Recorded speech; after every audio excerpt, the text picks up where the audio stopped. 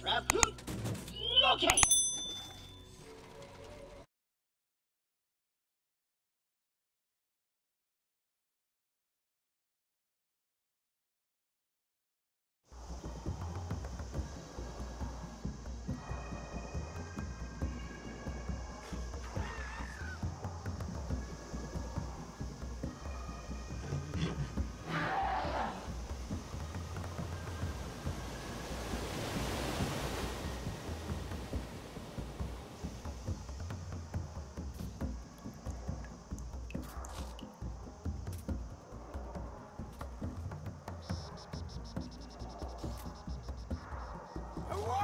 Don't get between me and my